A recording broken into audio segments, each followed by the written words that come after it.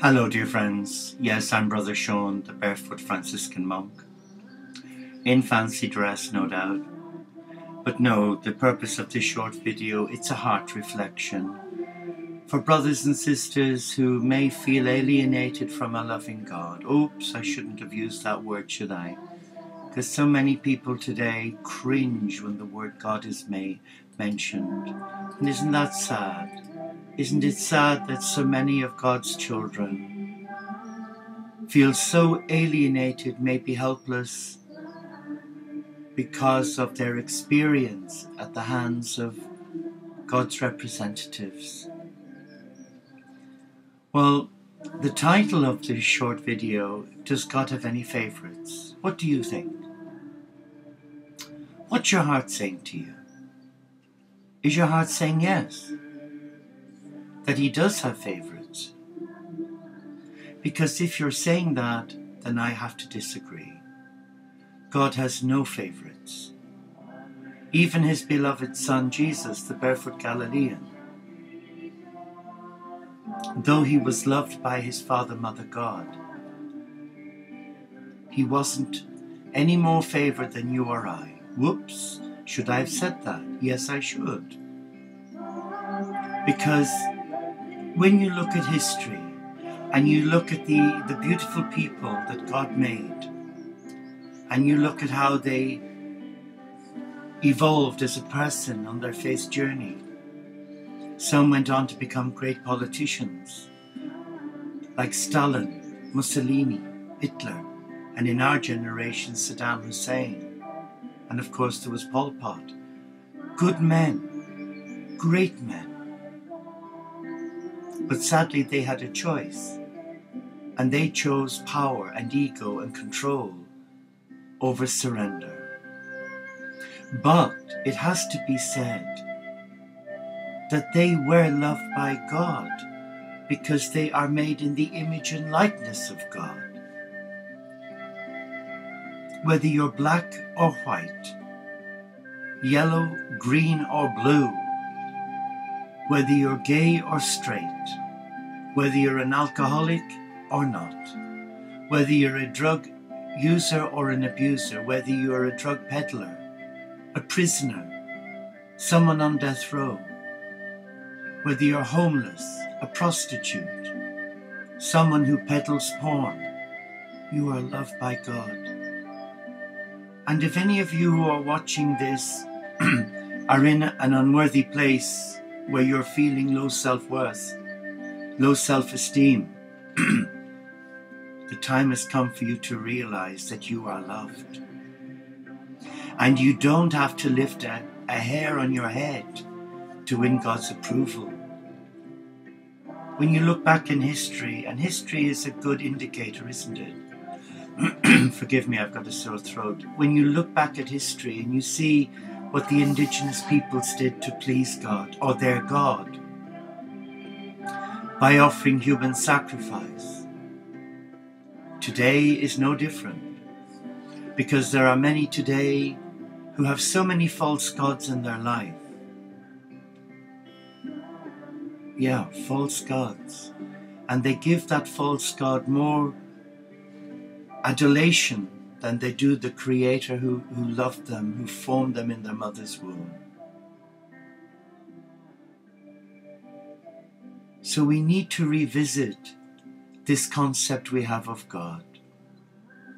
And I do hear what people say to me that they are frightened of God, because I was. As a young nursing monk, I was petrified of the word God. And God the Father, woof, I cringed because I use my own personal experiences of my blood father, my birth father, who was a beautiful man, so good looking, so attractive, he'd everything going for him, but like my younger brother, thoroughly spoiled. Thoroughly spoiled, with no appreciation or values, where they just end up abusing themselves and their beautiful gift of love. But my fear of God was rooted in my relationship with my own blood father, birth father. because to the outside world he was wonderful, the Errol Flynn look-alike, the voice of Mario Lanza. I desperately craved his love, and all I got was abuse, both physical and sexual. But I love him, and I forgive him. But when I entered the monastery, I had this concept that God the Father would be a, a tyrant. But now, in later life, as I've grown older and a little wiser, I see my Father, Mother God as a loving Father, Mother God. And they do not ask me to sacrifice my life, to throw myself into the lion's den and be eaten alive as I was for many years by trying to please other people so that I could be loved and accepted. And I guess that's the downside when you're affected by chronic depression or you've had a, a painful memory from childhood where your innocence was compromised. You have this built in survival kit that says, if I please you, you will love me and like me. Well, I'm afraid that never worked for me. But now it does, because I've surrendered my heart to a loving Father, Mother God, who does not ask me to make sacrifice. He doesn't ask me to walk on coals. Or as I watched on the television the other evening about how they celebrate Holy Week in the Catholic countries, especially in Italy, where they have these circular discs that they place on the hand with spikes, which is glass, and they bash their legs with it to draw blood. And literally, in some of those villages, the streets are flowing in blood from people who are punishing themselves so that they can feel what Christ felt. Now, that doesn't wash for me. That's scary. I find living this life hard enough without inflicting any more pain on myself. Managing bipolar managing a crumbling spine from years of heavy lifting as a nurse, and trying to deal with the dramas that unfold each day, that is more than enough for me. But what I'm saying to you is to come back to the theme. Does God have favorites? Absolutely not. He loves every child of God, me included, and does not ask me to do anything that would compromise my inner peace. Even as an enclosed contemplative monk, I'm freelance. I'm not part of the mainstream Christian family. I'm on the outside looking in, rather than like years ago, I was on the inside looking out, trying desperately to get out from a system that was so mind controlling but today I'm free. I drop my own rule of life as a member of the Teo community. I join my brothers and sisters in different parts of the world live each day, online using the internet for morning and evening prayer. And the beautiful vigil we have that goes live every night at 9 o'clock London time is to unite us so that we are one. And we are one. And we are loved. And trust me, Saddam Hussein, despite all the wrong he did, even Colonel Gaddafi, they are loved with the same love as you and I, as you or I are.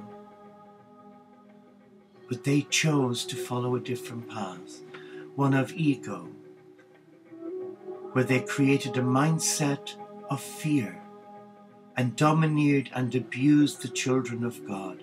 And it's happening today in the world. Look at South Africa, Zimbabwe.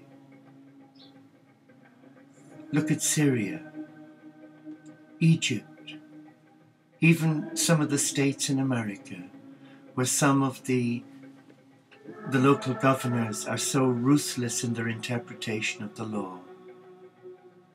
Look at China, no world, no country in our world is exempt from abuses to mankind. And as Wolf Moondan said, where in history has mankind taken such a brutal turn? Well, today I can assure you that you are loved with the same love that was given to Jesus, to Muhammad,